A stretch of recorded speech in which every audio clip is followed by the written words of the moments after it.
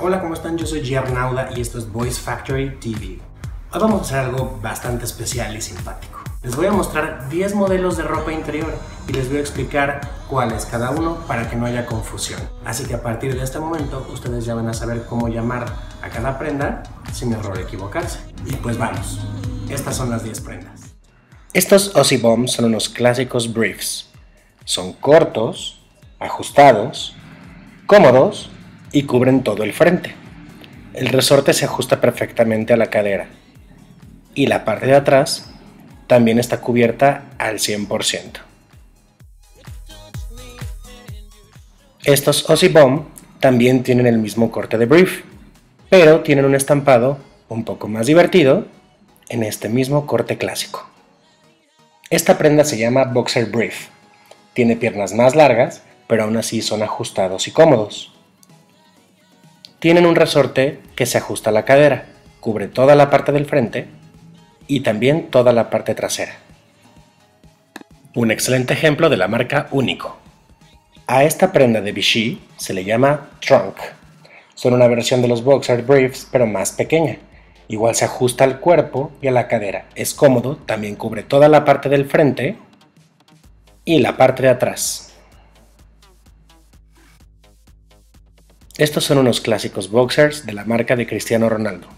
Son holgados, cómodos, se ajustan únicamente del resorte, cubren toda la parte del frente y de atrás.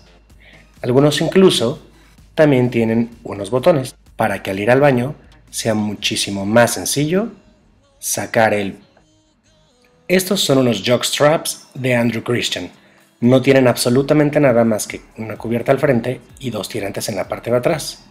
Así que queda toda la parte trasera descubierta. Esta es una tanga de Andrew Christian, que como bien saben, es una prenda muy delgada que solo cubre el frente y tiene una ligera correa en la parte de atrás, justo al centro.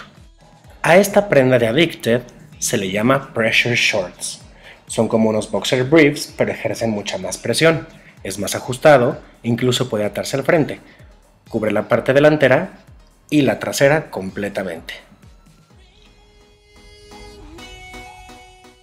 Y también existen variantes de los cortes que ya vimos, como estos trunk de Andrew Christian, que están cubiertos al frente pero descubiertos atrás.